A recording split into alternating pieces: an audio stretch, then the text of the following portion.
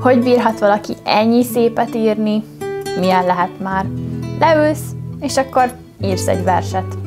Emlékszem, tavasz volt már, de hirtelen leesett a hó. Fehér volt körös körül minden. Mink meg épp úton. Akkor a Janusz úr megállítja menetet, kiszáll. Nézek, mi van. Észrevett egy kis fácskát, egy kis semmiséget. Kinyíltak már rajta a virágok. Ott állunk, bokáig a latyakban, az úr meg csak bámulja, nem szól egy szót sem. Aztán vissza a hintóba nagymagarván.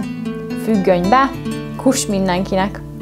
Úgy átfagytam, na, akkor minden voltam rá, csak büszke nem. Nem látunk a fejükbe, és kész. Tehát oda szállt Prosper, Toszkána szülötte, hogy engem barbár föld szült, és ostoba mégse vagyok. Bár buta is származhat e földön, akármi vidékről, és olyan is, kiben ég, s lángol a nagyszerű szív. Démokritoszt abdéra ökörlegelői nevelték, s Mantua zsírján nőtt halkszavú Vergilius. Vagy ha az egykori példák nem győznek meg eléggé, Nézd, hol szült meg anyánk, nézd ki vagy, és ki vagyok.